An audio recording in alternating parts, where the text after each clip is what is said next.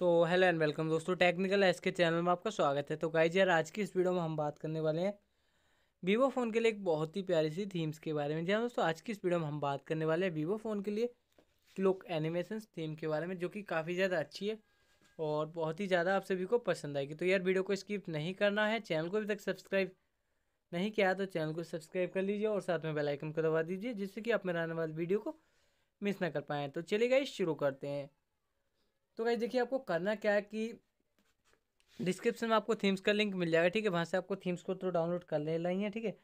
और थीम्स को डाउनलोड करने के बाद में आपको करना क्या है, आपको मैं बता देता हूँ। देखिए, आपको एक फ़ाइल मैनेजर का लिंक भी आपको डिस्क्रिप्शन में मिलेगा, उसे भी आपको डाउनलोड करके इंस्टॉल कर लेना। जब इंस्टॉल कर लेंगे तो आपको क्या करना है ओपन करना है फ़ाइल मैनेजर को। जैसे आप ओपन करोगे तो आपको जो थीम्स स्टोर है, वो जो थीम्स डाउनलोड की थी, वो डाउनलोड फोल्डर में आपको मिल जाएगी। आप डाउनलोड फोल्डर में जाएँगे, ठीक है फ्रेंड और मैं आपको यहाँ दिखा देता हूँ, ठीक है?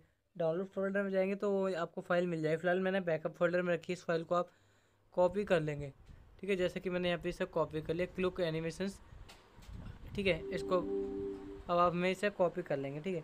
उसके बाद बैग जाएँगे। बैग जाने के बाद में फ्रेंड आपको करना क्या है, मैं आपको डी डब्ल्यू डी का फोल्डर मिलेगा, उसमें चले जाएँगे। उसमें जाने के बाद उसमें जितने भी सिंगल फोल्डर आपको मिले, सारे ओपन करते चले जाना है गाइस ठीक है? और उसके बाद यहाँ पे टी फोल्डर में से पेस्ट कर देना। बट याद है कि वहाँ पे अगर कोई और फ़ाइल हो ना तो उसको हटा दें, डिलीट कर दें। या फिर किसी और फोल्डर में दें उसके बाद गाइज़ आपको करना क्या है, मैं आपको बता देता हूँ। अब आपको कुछ नहीं करना है।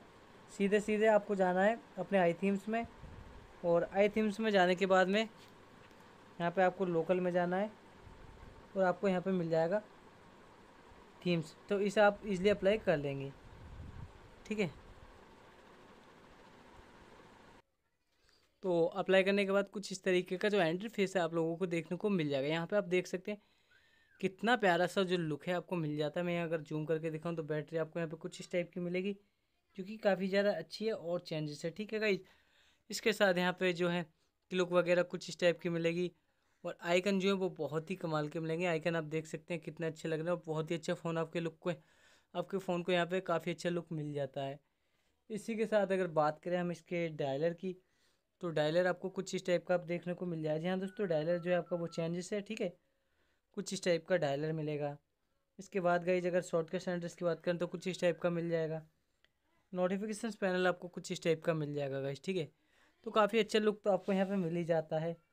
इसके साथ अगर बात करें इसके और चीज़ों के बारे में फ़ोन की सेटिंग्स तो सेटिंग्स आपको कुछ इस टाइप की आपको देखने को मिल जाएगी, जो कि काफ़ी अच्छी लग रही है।